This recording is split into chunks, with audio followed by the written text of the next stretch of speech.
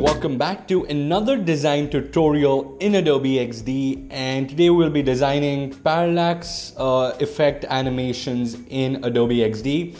See how cool and smooth these are and um, they're very quick to make. It'll take us less than 15 minutes to make both of these. So without further ado, let's just get started. Before we get started with the tutorial, tell me in the comments right now write in the comments which one is the best. Is it the left one, uh, the first one, or the right one, the second one? Okay, so to start off with the video, I'll just make a quick artboard which will be uh, you know 1600 by 1600 let's do that. And i'm going to put in a mobile frame in this. So this is just an, uh, a standard iphone frame kind of uh, thing right here. And i'll make sure that the border radius is 100 Perfect. So now, now what I'm about to do is I'm going to go to my downloads folder and I'm going to export and I'm going to import two images. One is the field and by the way, these images are mainly taken out of unsplash.com. So go ahead and check unsplash.com. There are now two images that I've imported. Uh, so for the first image, what I'm going to do is I'm just going to use the pen tool, which can also be picked up from here on the left and I'm just going to create an outline along these flowers uh, to cut out the top portion which is the trees of uh, this image and also the sky as well. I don't need to do it for the entire picture just some portion of it and uh, once I am done with creating a stencil out of this I'm just going to select both these images First of all, I'm just going to duplicate this image because I want an original image to be there as well. And I'll select both of these, the stencil as well as the image. And I'll say Command Shift M or Control Shift M to mask it. Perfect. Now what I'll do is I'll just put this on top of this. Perfect. And make sure it's perfectly aligned as well. Perfect. And now what I'm going to do is I am going to I'm going to group these two selections right here and I will put it behind this phone mockup right here. And I'll put it behind it and I'll select both and say Command Shift M again to mask it. So now we have two masks and we'll just internally shift it so that we really can't see the yellow flowers. I don't really want to see the yellow flowers in this. And uh, these these lines which are leading into this one spot here, in photography we call it leading lines and uh, leading lines really help to focus on one point. So what we're going to do next is use the same technique of the pen and just outline this flower and we want to basically perfectly outline this flower and once we're done with that um, next what we'll do is once we're done with the complete outline I'll skip to that we will also uh, double click on these anchor points to make these curved. So if you want to curve them out, you can just double click and then shift these, um, you know, these handles around to make sure that um, it's perfectly aligned outside the flower, just to cut out the flower. Once we have a perfect outline, as you can see, I'll just color this in to, so that you can see that we have an outline. I will just put it above the image. Select the image as well as the outline and say Command Shift M or Control Shift M to mask it again.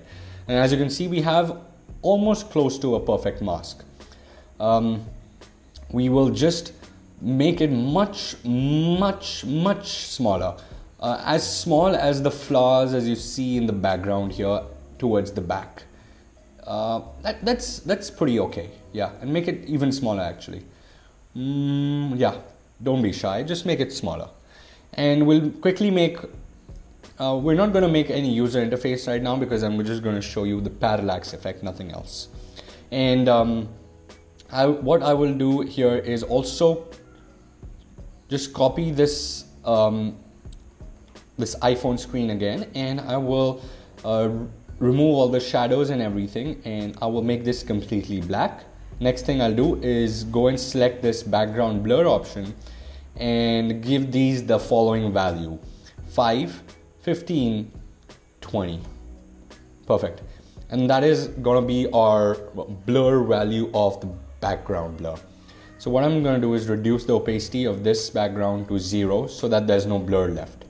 So now what we're going to do is we just select the artboard and say Command D, Control D to duplicate this. Next thing that we need to do is make sure that the mask group 20, which is basically the flower, increases in size. And will substantially increase it in size till it's, you know, half the, maybe half the width of this artboard right here. And one thing that you might notice is that the mask doesn't perfectly fit this when we increase the size of the flower. And this is a little of a problem with XD is that sometimes the mask is not of the same size when scaled up. But that's fine, we'll just leave it to here. And what you guys can do is quickly uh, select these and you know just make sure that it, it is refined. But for now, to quicken the process up, I'm just gonna leave it as it is. Perfect. So the next thing that we need to do is choose the rectangle 11, which is the blur rectangle, the blur at the background and just increase the opacity so that the background is blurred and we, we can only focus on this little flower in the front. The last step that we need to do is go to the group 8, which is inside mask group 19. And this image, this flower bed image, we just need to scale up. Just start scaling it up by a lot, right? Uh, we just want to make sure uh, that the flower, the center portion is in focus and nothing else can really be seen. So it gives us the effect that we're moving in with the leading lines. Now I have something which I am pretty okay with. As you can see, the flowers have come, have come pretty close. Next step that I would want to do is go to mask group 18 and just select the mask the image inside the mask group 18 i don't want to select the entire mask itself so i just want to increase the size of this and i want it to be slightly larger i want it to be slightly smaller than the foreground because the foreground should seem to move faster towards us as compared to the background which is the sky and the trees so make it slightly smaller not too small and just place it uh, in accordance with the trees. So the trees should be visible and the sky is more or less now just gone, right? And as you can see, it's pretty okay. We could fix this a little more, but for now, I'm just gonna leave it like that. One thing we can do, of course, is to move the mask around a little bit, just bring it towards the bottom right here so that it masks these flowers and you know, it doesn't seem like a separate entity altogether. I think this is pretty alright for now. So let's try, so let's prototype this. If I bring the arrow to the next artboard as you can see, I say auto animate, tap, ease in out, and 2.5 seconds should be the time. And we'll do the same for the second artboard, bring the arrow back to the first one, say ease in out. For this, I'll just say two seconds, tap and auto animate. So let's start this prototype and let's test it out. So if I click here, oh, that is smooth. And if I just take it back, see it, as you can see, the sky is now scaling at a different pace as compared to the foreground. And that is what a parallax is all about. The next design is very similar. What I've done is I've taken two images. One is a close up of a beach uh, and one is the, you know, a drone shot of the same beach at the same place. So I think this is, uh, I'm not sure, I think this is the South Beach in Miami. I'm not very sure. But um, I'll give you all these assets in the description. I'll give the XD file, which will have all these assets in one place. And what I'm just doing here is, first of all, I increase the size of this, this much larger. And um, what I'm going to do is use the pen tool technique and just carve out these waves with the pen. And as you can see, I'm not, you know, using a lot of, I'm not just, I'm not focusing too much here because when the effect is happening, the user will barely be able to see anything. So some effects don't have to be pixel perfect uh, because the user sometimes just never sees those pixel imperfections and it's not the best practice i uh, i won't don't quote me on that but I think that's something that people need to learn. And as you can see, I have a duplicate of that image here and just the waves itself. So I'll align the waves uh, here with this. See, almost perfectly aligned. I'll just group both of these. Command G or Control G to duplicate them. I'll increase the size so that they legitimately fit between here. and the the the phone itself and say command shift M control shift M to basically mask it. So the next thing that I'm going to do is I'm just going to bring this in. And for this image I'm not really going to do much. I'm just going to mask uh, I'm just going to put it behind this uh, duplicate the mask that I had. So just copy this and duplicate the mask which I, we were using the the phone screen and select both the image as well as the mask and say command shift M control shift M and place it behind this beach. So this is our main beach here. So what I'm going to do is duplicate this artboard and in the second artboard I will select first of all just the waves. And um, I will rotate the waves in such a way no no no. As you can see we have a perfect artboard here but one thing is missing. What we want to do is first of all I'm just going to copy this image outside this. And as you can see uh, I should have done this before but never mind. And now this is a mask. So first of all ungroup this command shift G to ungroup it. I'm just going to mask group these as well.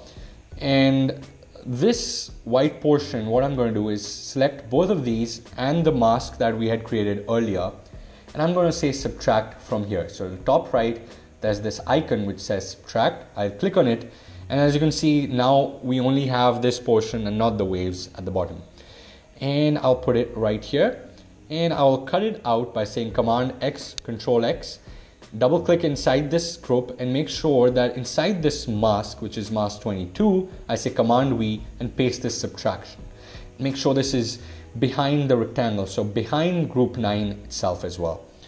Now that we have this what I'm going to do is I'm going to remove the original image which was north S. Just delete it out because now we have two portions the same image. The beach if you remove this at the back there'll be the cityscape. And in the front there'll be this beach. So make sure you just perfectly align it almost. And now we'll duplicate it. So command D control D to duplicate this artboard. And in the second one what I'm going to do is first of all rotate both of these. Since there is some perspective change and the perspective is calling for some rotation rotate both of these.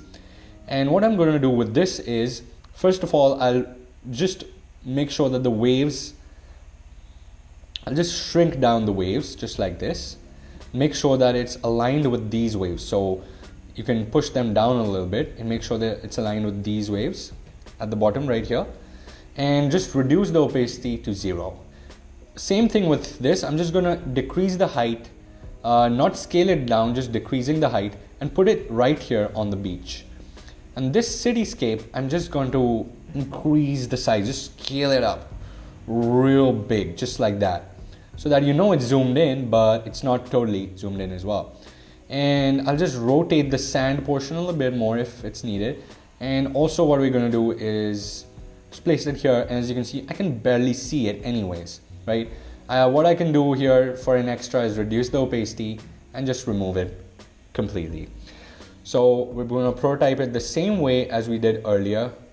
Shift the arrow to the second artboard, auto animate, ease in out, 2.5 seconds again. And let's try this one out as well. So if I click here, ooh, see how it just floats in and there's, there's another perspective. That was today's video. I post every Monday and Thursday. If you like my channel, subscribe to my channel by hitting that subscribe button and also click on that bell icon right next to it so that you never miss any of my videos. I'll see you in the next video. Goodbye and God bless.